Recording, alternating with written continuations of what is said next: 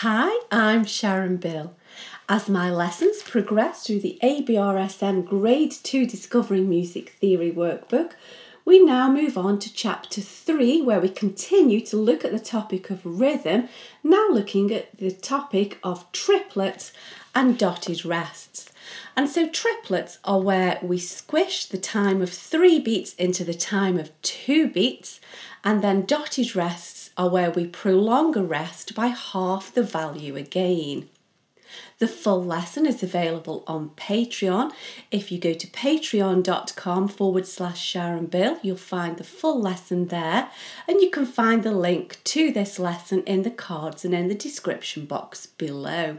After this short little video, you'll find sample examples of this lesson to show you just how I explain everything you need to know and help you to work through every single exercise.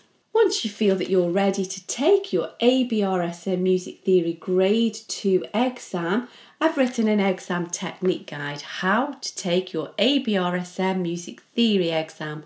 It's full of tips and hints on how to best be prepared for your exam and also how to make the very best use of the time when you're actually taking the exam. This book is available in either ebook or paperback form. It's available from Amazon, and you can find the links to that in the cards and in the description box below. All of the information that you require can also be found on my website. If you visit www.sharonbill.com, you'll find everything you need there.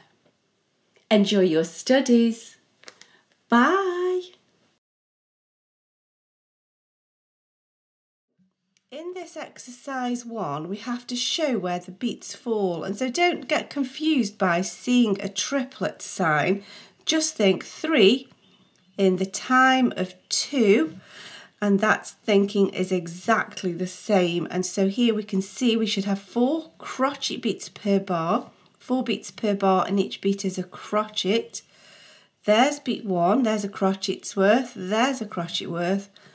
Three in the time of two is also a crotchet beat's worth. So there's beat three, there's beat four. So the principle is exactly the same. We're just squishing an extra note in and dividing it equally amongst the beat. So here is beat one of the next bar. Here's beat two of the next bar. There's the beginning of beat three and it lasts throughout to the end of the bar with beat four.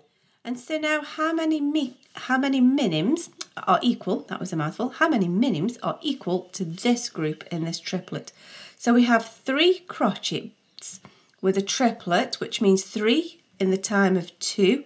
So three crotchet beats in the time of two crotchet beats.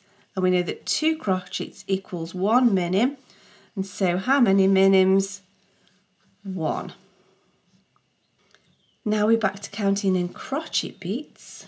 So how many crotchet beats per bar? So here we have three quaver beats with a triplet, which means three quaver beats in the time of two. And we know that two quaver beats is a crotchet's worth, so those three would be divided equally into this crotchet beat. And then here Let's just diagram out what's going on here.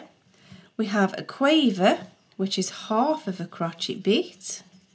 And then the dot gives us half as long again. So that's half of a half is a quarter. And then this semi-quaver here is the remaining quarter of a beat. So we have three quarters and then a quarter of a beat, which of course gives us a crotchet beat.